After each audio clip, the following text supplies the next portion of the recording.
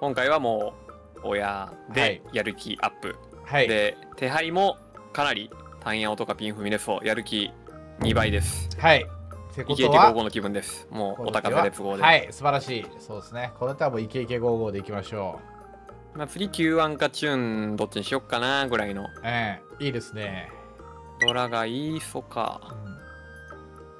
うん。おー。これは答えあるよりですねこれは Q1 が機能してると見るべきなのかしてないと見るべきなのかちょっと待ってください。そうですね。ここが大事ですね。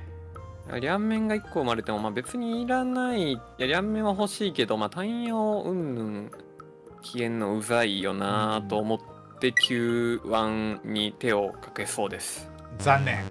残念チューン。そうこれは、まあ、チュンが重なったら、はい。まあ、泣けるようになるんですけど。泣けるようになります。でも1500点ですねチュンのみ。チューンのみ。まあ大して嬉しくない、嬉しくない。でこれ Q1 はまあね確か今んとこ起動してないんですけどパー1引いた時にはい。ニサゴロチパクになるんでマンズが、はいはいはいはい。タンヤオは崩れやすいんですけど一通になる可能性あるんですよね。薄めの一通が。はい。でその時は両面できてるんでパーピンとか切れるんで、うんうんまあ今回ーパー1引きは結構偉いと見なせますね。パーワンを引いたら偉いですね。はい。でチュンはまあ別に重なってもそんな嬉しくないんで。確かになんか Q1 切ってパーワン引いたら悲しいですもんね普通に。そう。ああなんかまあ。偉い牌が1個でもあったら残した方がいいですね。うんうんうんうんうん。確かに。パーワン嬉しい。嬉しそう。パー1が嬉しいかどうかで決めますねこういうのは。あああーこれれむずい。ああこれ難しいです。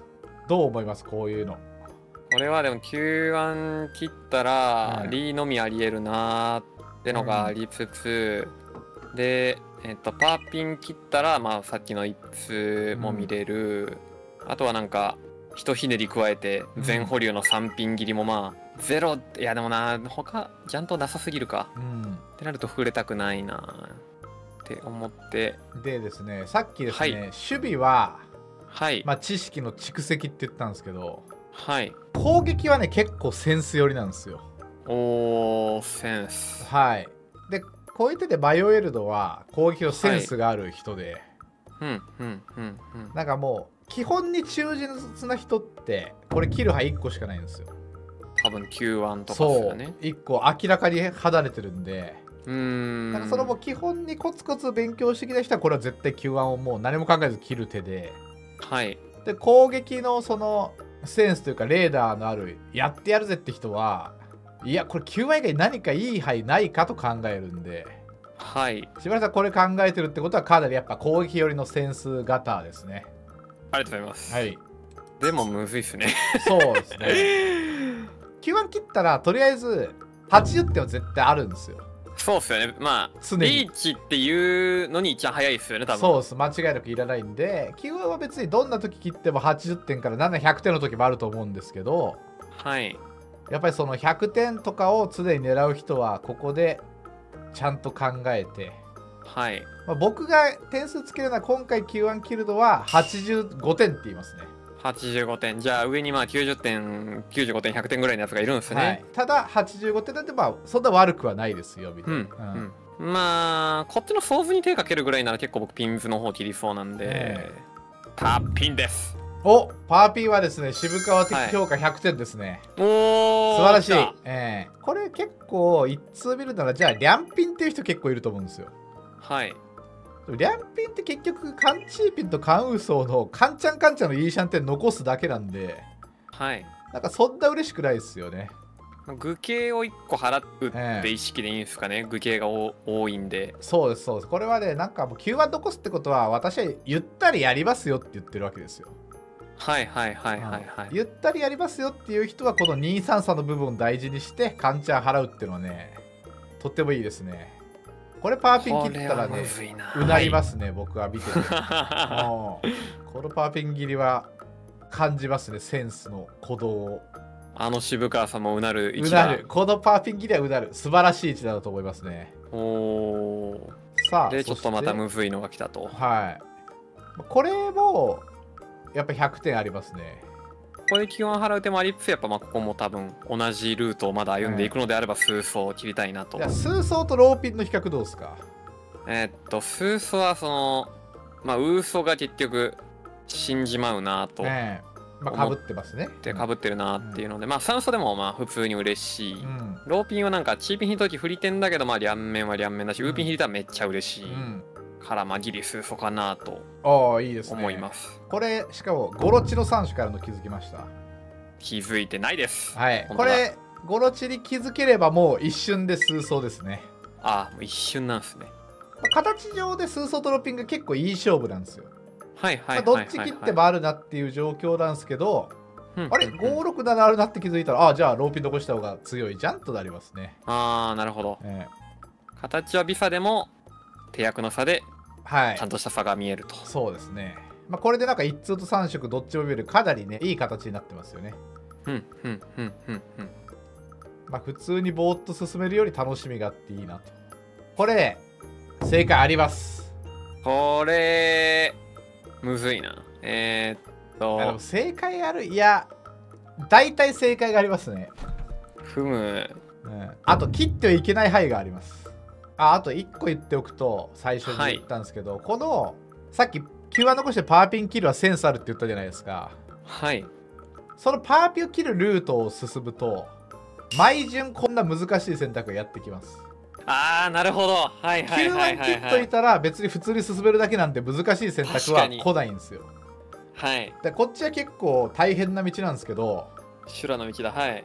ただ超強くなるならこっちのルート行った方がいいですねああ、ええなるほど。毎順毎順難しい選択を迫るという、うん。うーんまあ孤立範囲の多分比較だな。で3話の方が形良くなるけどまあでもさっきの3色の話もあったんでローピン残したいなということで僕は3話を切りそうです、素晴らしい。大正解、もで今回う迫られてる。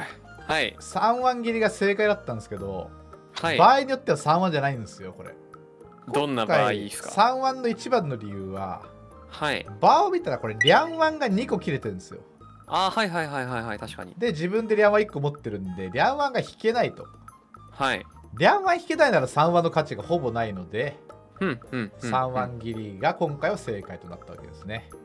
リャンワンが残ってた場合はじゃあ、はい。結構他のタクも生まれてくる、生まれてくる状況でした。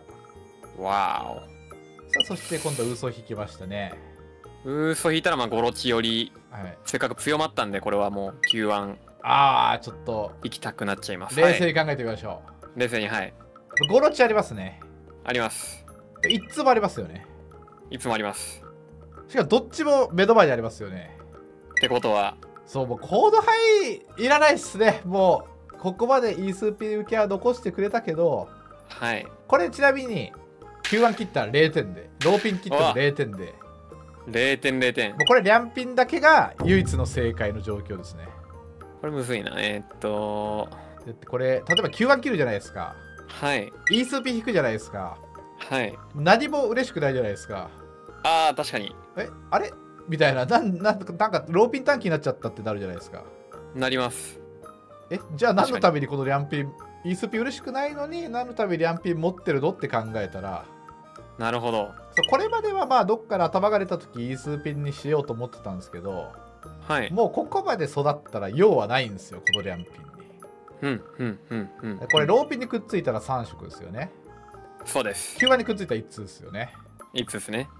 もう完璧じゃないですか。もうローピンも9番も完璧です。選べない、うん。これは超大差でリャンピン切りですね。っていうここまでノーミスでたどり着かないといけないちょっと難しい進行にはなる。そうたけだどそう。リターンがクソでかいと。これ多分普通に Q1 切ってる人は今、リーチドベのカンチーピリーチになってるんですよ。そうっすね。でもこっちの修羅の道選んだ人はこの素晴らしいくっつきのいいシャンテになってると、うーん、うん。まあ、どっちがいいかって言っうんたらこっちの方が嬉しいじゃないですか。うん嬉しいです。リーチのみのカンチャになるより。でもリーチのみカンチャ先生リーチもそんなに悪くないんで。